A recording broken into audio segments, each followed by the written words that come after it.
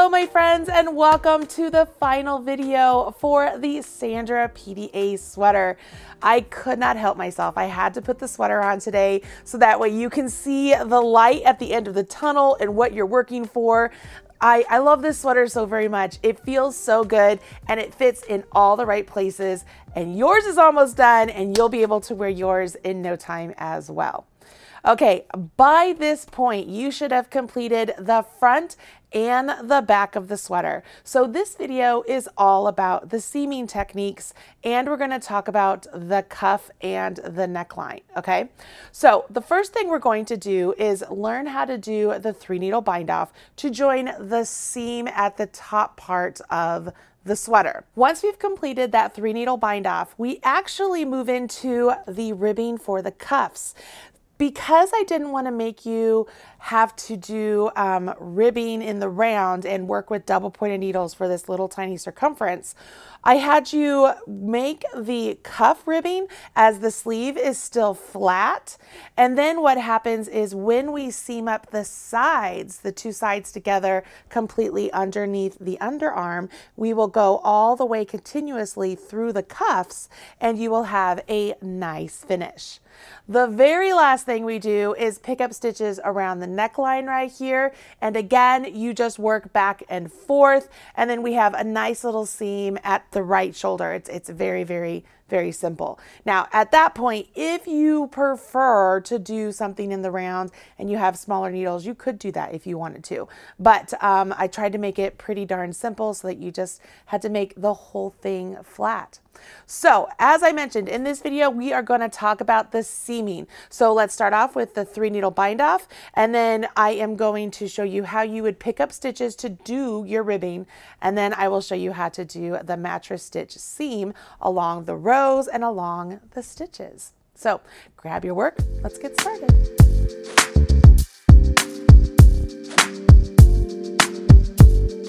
To show you the three needle bind off, I am going to use the sample swatch I had for the front of the sweater. And then I have this just little makeshift piece that's going to represent the back of the sweater for this example. Now, if you remember, as you were working on your sweaters, you were um, told that you could either put all of your yarn on a holder or on a spare needle. It's at this point in time, you need your stitches on needles, okay? So if, for example, you have one uh, of your uh, sweater front or your sweater back on spare yarn, you wanna put the, the shoulder you're going to be seaming to the opposite shoulder on a needle. So that way they're both on needles. And then I'm using a double pointed needle as my third needle because it just makes things so much easier than trying to maneuver another, you know, the other side of the needle. And if you're using one needle here, like one end here and one end there, you still need a third needle. So that's where my double point is coming in.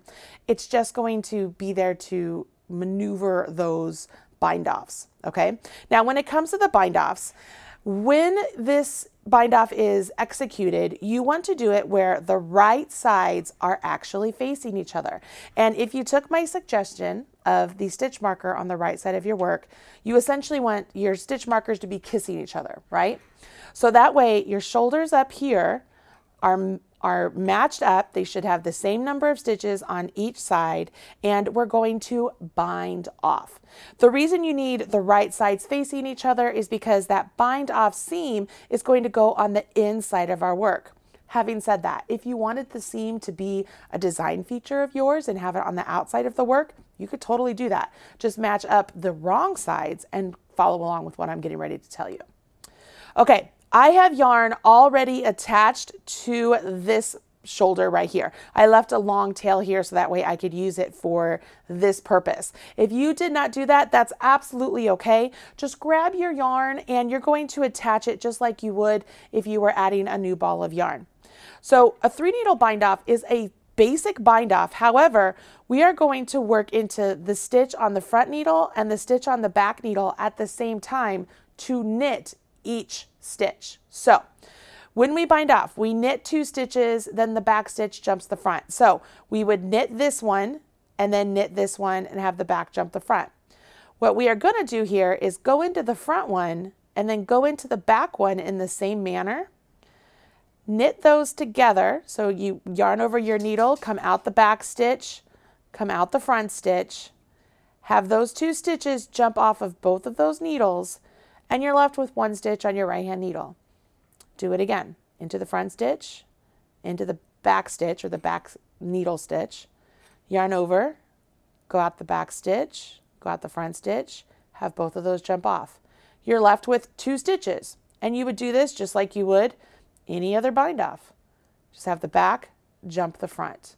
Okay, make sure you don't make that too tight because you don't want this to um, like cinch up too much, like like it, it puckers um, along the edge of your sweater. Okay, so make sure that you're keeping these bind offs consistent with the size of your needle. Okay, then you do it again. Go in the front, go in the back, yarn over, come out both and off, have the back, jump the front.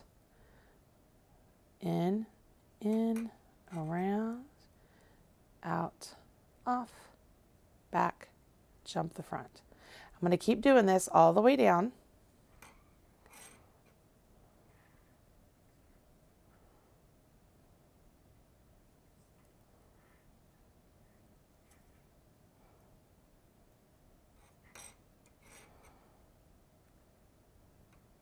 Notice the double pointed needle really is just there, like I said, to facilitate this action.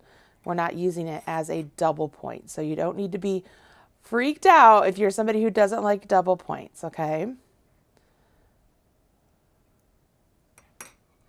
And the double point is the same size as the needles that I used for knitting my sweater because as you are knitting these stitches here, as we knit them onto the double point, the double point is regulating the size of those stitches.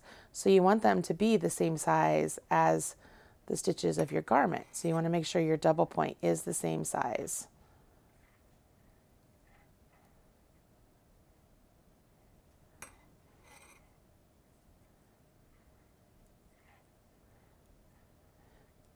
This one over here is getting a little bit loose because it was the end here. You can see the tail.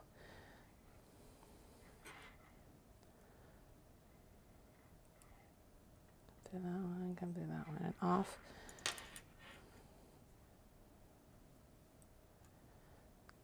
Okay, have the back jump the front. I'm left with one stitch, so I can cut my yarn. I still want to make sure I leave a tail here, so that way I can weave it in. And if I open this up, what you will notice, I'll pull those tails over here, so I have a little bit of a seam here at the top of my shoulder and that goes all the way down my sleeve.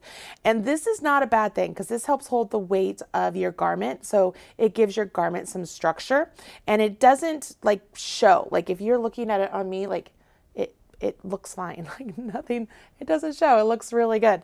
And then if we flip this over, you can see we have a very beautiful seam right here.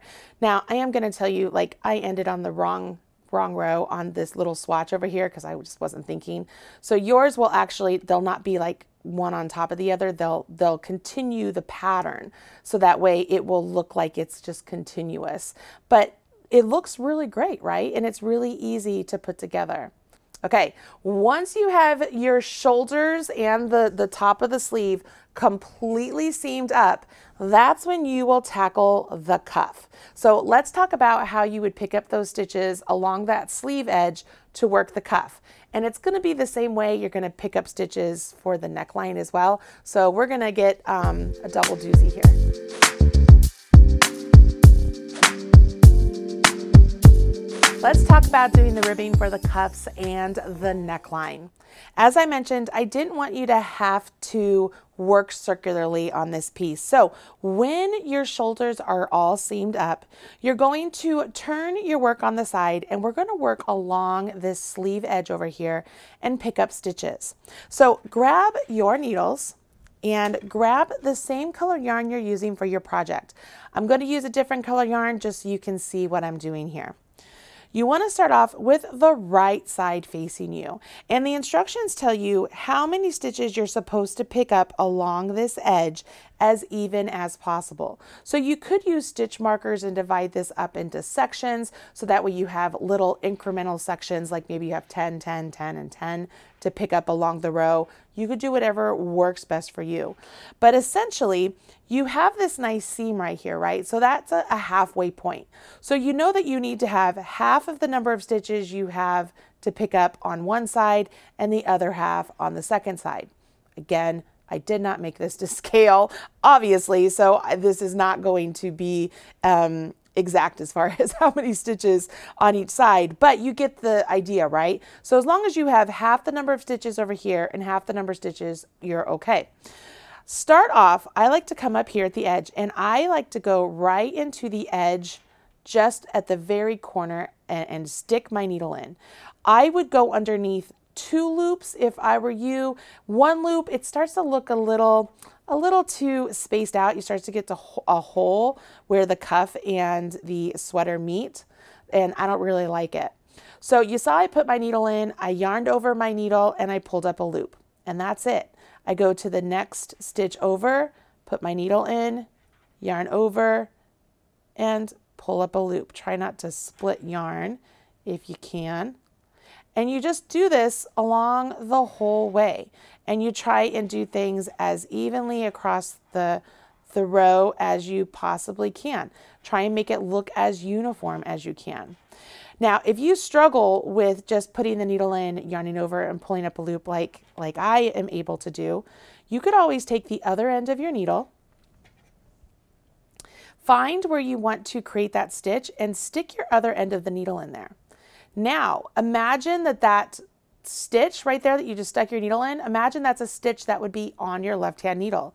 And then go into it just like you would if you were knitting and knit it. Okay, go to the next one, wherever that may be. Go into it and knit it. So if you're struggling, this is one way that you can really make sure you know, you're getting the stitches in there as easily as possible and you can move along. We could split the yarn there. Uh, if you're familiar with crochet hook, if you're bi-crafty, you could always use a crochet hook to pick up stitches. But you can see there, I've picked up the stitches. They look pretty nice and even to me. I just went right along the seam there. See, I did not do anything special. So if I just kept going here, I could just keep going and pick up stitches and make sure I have the correct stitch count. And then once all of your stitches are on here, you will turn your work and your very first row is a wrong side row and just follow along with the instructions where you will start off with a, a purl two and then you go knit two, purl two, knit two, purl two, and you'll end with the purl two. And what that does is when everything is seamed up along the edges with the mattress stitch, you will have a continuous seam all the way around the cuff, you can see here, and it will look really, really super nice. You see that? All right, so the same thing applies if you're picking up the stitches along the neckline. Of course, you don't do the neckline until after the cuffs are done and the seaming is done on the side, but let's just take a peek here at this neckline. When you're doing the neckline, you want to start at the corner. So you're going to start at one of the, the corners um, where the seam is.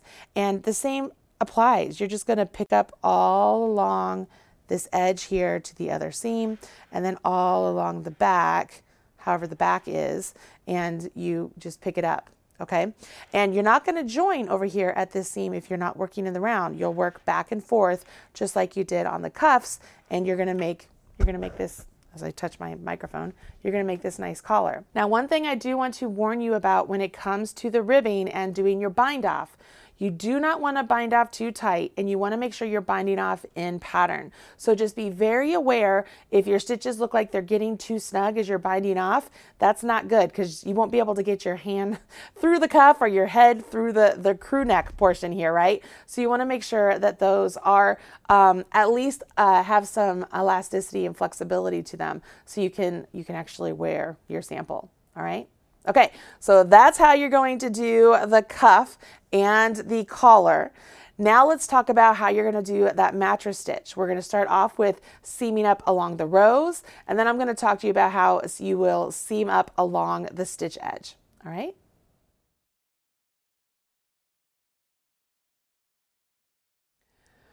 Okay, we're gonna learn a little bit about mattress stitch today. And what I have here, I have two little swatches with some 2x2 ribbing at the bottom and then basic stockinette. Now, I know that our sweater obviously has the holy knit stitch pattern, but you remember the edges of that pattern are in stockinette. So you will be seaming along two stockinette stitches um, along those sides. So this is a really good example. Now I am going to seam it with a different color yarn, hoping that you can see what I'm doing a little bit easier. And what I am going to do is you want the right sides facing you when you do this seam. So it's different than when we did the three needle bind off. And what will happen is when you have the right sides facing you, we're going to start off down here at this bottom edge and you're going to come up one stitch from the back into one of your pieces, one of your sides. Now I like to start with um, a figure eight start. So I come up on one and then I'm going to come over here to the direct opposite side. I'm coming up on the other. And you can see, so I have a figure eight started. Can you see that? And so what will happen here is now I come up over here one more time. And all that is doing is it's, it's joining my yarn here at the very base so I don't have to worry about it coming undone. And I'm just going to give it a little tug, okay? So now I have my two pieces. Now what we're going to do here, we have two knit stitches here, right? We have a knit stitch here and a knit stitch here. And what I'm going to do is I am actually going to work up between the, the stitch between the knit stitch here and the knit stitch here. I'm going to work up along this column. And then I'm going to do the same thing over here. I'm going to work up along this column. And when I do that, it's going to bring these two pieces together and it's going to make it look like it's just one two by two section. So my yarn is over here. I'm going to pop back over here. I'm going to go in and I'm coming down to the bottom as far as I can. And then I'm coming up between the column and I'm grabbing two bars. I don't know if you can see that, but I have two bars. And I'm to pull my yarn up. And I'm not going to pull this really tight to start with, okay, guys? I'm not going to pull this really tight to begin with. I think I just pulled my tail out. I did. Well, anyways, I should have left my tail longer. Anyways, so two up, come over here, go in where I came out over here, and go up and two bars. And give it a tug. And you repeat this, and I'm not going to pull it real tight to begin with because you want to be able to see where you came out. So you go in where you came out, go up, I'm picking up two bars, and I do it again. Go in where you came out, go up, pick up two bars, and continue. We'll do this all the way along this row. And as you're going along, you do want to make sure that you know you're not accidentally seaming where where it gets off track. You want to make sure that your your ribbing sections are all the same, everything lines up nice and neat. You don't want it to be off kilter. And again, I'm just grabbing two bars the whole time.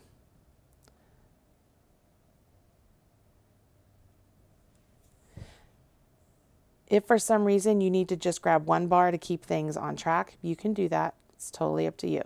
I'm going to pause after I do this one. Now you can see here that I haven't pulled anything tight, but you can clearly see that I have this nice row of knitting right here and this nice row of knitting right here. Here's my tail down here. Here's my tail up here for my working yarn. And this is going to be like a zipper. Because my yarn is strong enough to handle this, I can go ahead and pull both of these tight. And you see how that pulls it together like a zipper. And I have my seam on the inside and it looks seamless. Can you see that? See how it looks seamless? And now we're going to continue working that up along along the body. Okay, so as you keep going here, I came out over here, you can kind of spread it apart a little bit if you tightened it up. Find where you came out, and again, keep going up between those two stitch columns, and you just keep grabbing two bars. So that's one bar, There's two bars. And you just keep going. And that's the mattress stitch, y'all. It's really, it's really beautiful when you have done it right. And it's quite easy because you're just, it's like a ladder, right? You're just laddering up. And you can do this in sewing as well. You can do an invisible mattress stitch to sew together um, fabric. You can do this in crochet. You can go between stitches and seam things up like this in crochet. Um, it's a really beautiful way to seam pieces together. And clearly my two swatches here are not the same size, so one's a little bigger than the other, but I'm going up to the top of this one at least. I'm gonna give that a pull. And look, it doesn't even matter that I used a different color because when it's all pulled together, it's, it's invisible and it looks great, right? Isn't that cool? I love that. I think that's just like one of the coolest things. All right, so that's how you do mattress stitch when you're matching up like rows to rows, right? We did rows to rows. But what if we do stitches to stitches? Which is exactly what you do when we have the front sleeve meet the back sleeve right down here, right? These are stitches to stitches. So we need to know how we do that. It's really similar. We're gonna pick up the two legs of a stitch and work through in the same manner. Let me show you what I mean. Okay, for simplicity purposes, I'm gonna use this swatch to seam to this one. And I'm just gonna partner these up just like so, okay? So what we're imagining here is this is the bottom of your sleeve where we did all those sleeve increases. And we're gonna gradually join those together. Now, I will tell you, because there's sort of those stair steps, there's gonna be times you get a little bit of that bump that's gonna go inside on the seam. You're never gonna feel it, like I don't feel it as I'm wearing it. It's not going to get in the way, just completely ignore it. But what we're going to do here is when we partner these up seam to seam, or stitch to stitch, I'm sorry, we are going to take our yarn, right, just like we did before. You can join your yarn at the edge just like you did before. We have the right sides facing us just like we did before. And what's going to happen, so our yarn came up right here. So I'm going to come over here and we're going to go underneath two legs of the corresponding stitch. So as your pieces are matched up, you want to make sure you have them matched up like stitch for stitch on the front and the back. So I'm just going to pretend it's this one. Actually, I'm going to move over. I'm going to think it's this one. Okay. And what I'm going to do is I'm going to pull my yarn through those two legs. Leave it a little bit loose. Come back over here, go in where I came out, just like I did before. And I'm going to go underneath two legs over here for a stitch. Come over here, go in where I came out, go underneath two legs, go in where I came out, go underneath two legs, and you just keep doing this, so on and so forth. As you match everything up, if you come to, you want to try and get underneath the two legs, I should have said this earlier, as close to the edge as you can and try and stay within the same line. I decided not to go, I'm, I'm down a little bit. I'm down just a little bit here. I'm going down one extra um, from the edge. You want to go right there into the edge, but I wanted you to be able to see what I'm doing. So I'm just going to keep going here. Like you can see over here, I'm right down here to the edge. And then just stay, stay within whatever line for the row you're working on. Okay, so just like before, as it looks kind of zigzaggy, right? You can pull one side and it will match it up and it looks seamless. How cool is that? Again, on the other side, this is where your seam is. See, this is what happens if you don't go right along the edge. You get a little bit more of a bulk there, which is fine because that's actually what it's going to look like just a little bit as you um, are creating those extra stitches and you have that little, you didn't create extra, when you did create extra stitches and you have that stair step, you're going to have that little bit of a bulk, but not, not bad at all. But over here, you can see it's nice and nice and flat, but you get this really beautiful, beautiful seam. And you'll do that all the way down. And the same thing applies when you get down here to where your ribbing is, as long as you're working between the two stitches here, right? You just work between those. Everything's gonna match up, everything's gonna look great, and you're gonna have a good time. Pretty cool, right? So the, the seaming process should not be something that is super scary to you. The fact that I, yo, I chose to use the three needle bind off for the shoulders, um, I think that that's really handy because it's just one of those finishes that's super fast to do. And then doing the mattress stitch along the, the, you know, the side seams and the underneath of the sleeve, I mean, that's that's a universal skill that you need for a lot of different pieces. So um, having a chance to learn that here for this cute top is um, really fantastic. All right, y'all. So what do you think? What do you think? Are you excited to finish your very own Sandra PDA? Um, I can tell you unequivocally that this is one of my most favorite sweater designs I've ever made, designed, anything like that. And as I started off this series, I never thought I would like something cropped, but as I mentioned to you, it fits absolutely perfect right here like high waist and it just looks really great as you're wearing it. Right now I have it partnered up with a tank top dress. So it's just like that little bit of an extra covering on a dress. I could put it um, over a camisole. I could do whatever I want with it and it's going to look fabulous. I cannot wait to see your finished sweaters. So please, please, please be sure to share with me on social media. Just a reminder, I am the Marly Bird on Instagram, or you can always leave a comment over in the Marly's Minions Facebook group because we love seeing all of your work. And if you and your friends were making this together, I would love a group photo of all of you uh, with your finished sweaters on. I think that would be really awesome. All right, everybody, I know that you are eager to finish your sweater with all that seaming and that little bit of the ribbing left over, and I'm going to let you get to it. I'm Marly Bird, your Bi-Crafty bestie, and I will see you in the next project. Bye.